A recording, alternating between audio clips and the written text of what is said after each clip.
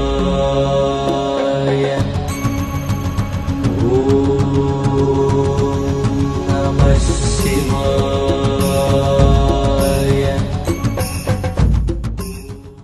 விஸ்வம் visuals நேயர்கள் அனைவருக்கும் சுமதி ஸ்ரீயின் அன்பு வணக்கம் பாடல் பெற்ற தலங்கள் பகுதியில் இன்னைக்கு நாம திருவழித்தாயம் திருக்கோவிலை பற்றி பார்க்க போகிறோம் நம்மளில் நிறைய பேர் ஜாதகம் பார்த்துருப்போம் இல்லையா? சில பேர் ஒவ்வொரு விஷயத்தையும் ஜாதகம் பார்த்து தான் பண்ணுவாங்க.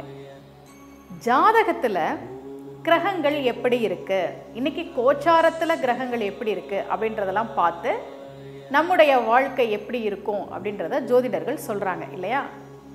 இந்த கிரகங்கள்லேயே முழு முதல் சுப கிரகம்னா அது குரு தான் ஒருத்தருக்கு ஜாதகத்தில் குரு நல்லா இருந்துட்டாரு அப்படின்னா கவலையே பட வேணாம்.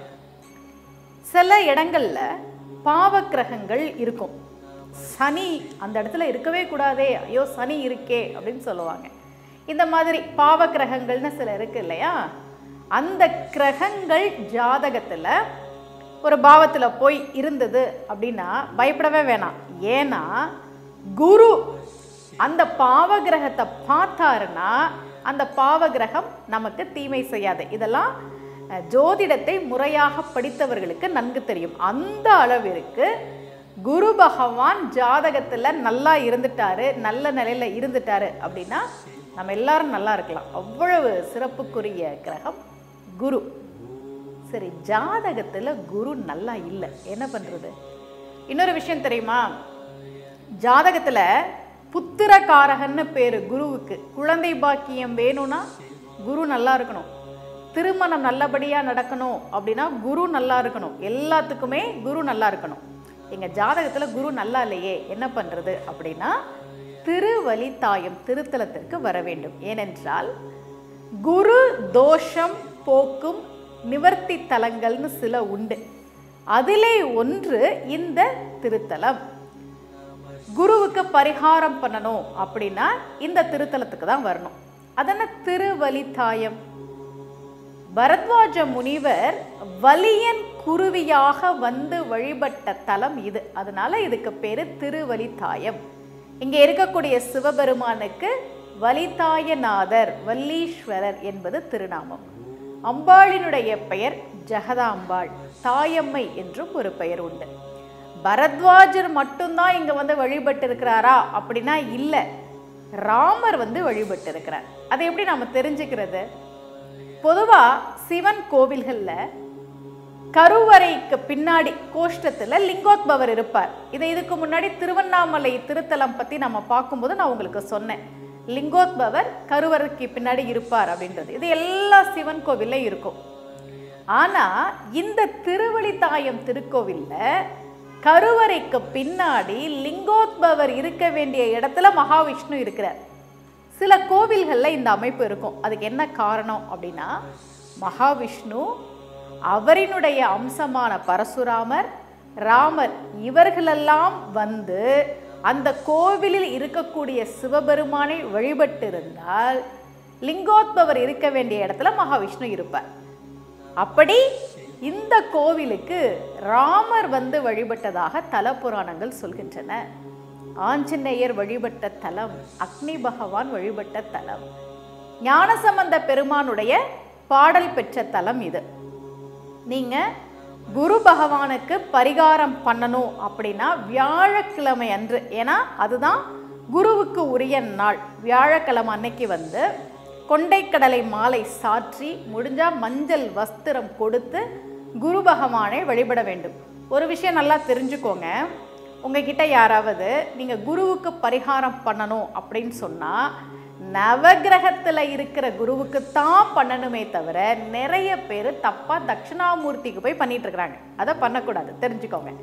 இந்த கோவிலில் இருக்கிற தட்சிணாமூர்த்திக்கு ஒரு சிறப்பு உண்டு. வீராசன நிலையில் இருக்கிறார். அவருக்கு என்ன பேர் அப்படின்னா வியாக்கியான தட்சிணாமூர்த்தி என்பது பெயர். குருவுக்கு பரிகாரம் பண்ணுறவங்க நவகிரகத்தில் இருக்கிற குருவுக்கு மட்டும்தான் பண்ணணும் அப்படின்றத கவனத்தில் எடுத்துக்கோங்க. இங்கே இருக்கிற முருகப்பெருமான் மீது அருணகிரியார் திருப்புகழ் பாடியிருக்கிறார்.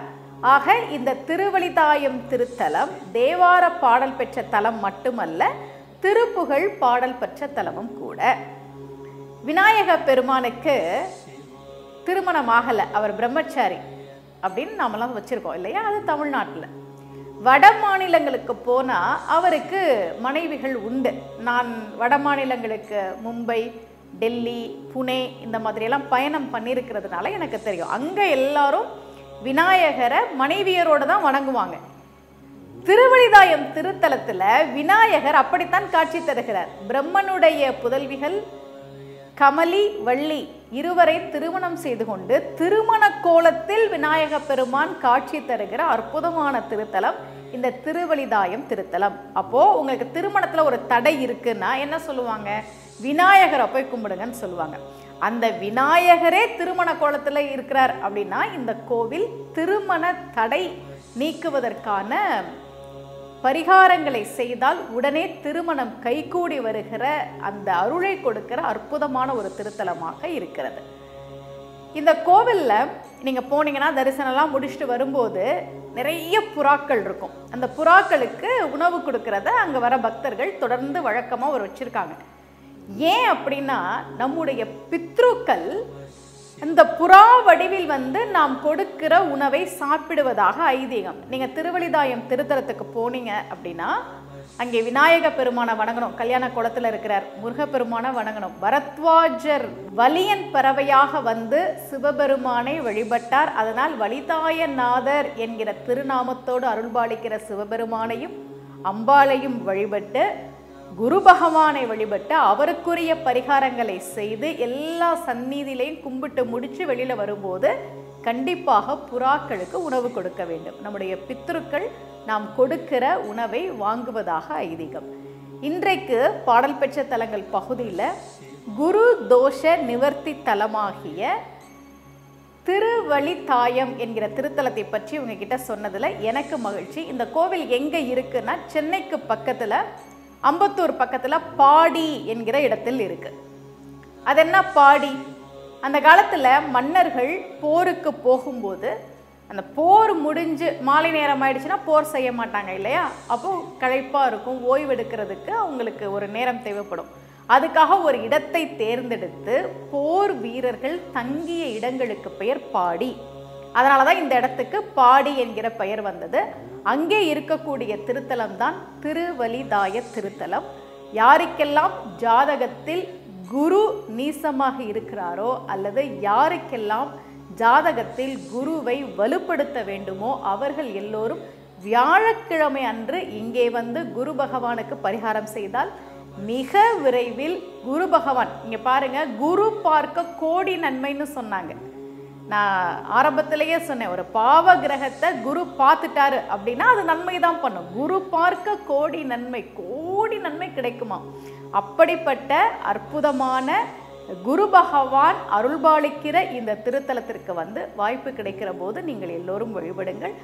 மீண்டும் மற்றும் ஒரு திருத்தலத்தை பற்றி உங்களுக்கு அடுத்த பதிவிலே சொல்கிறேன். அனைவருக்கும் அன்புடன் சுமதி ஸ்ரீ.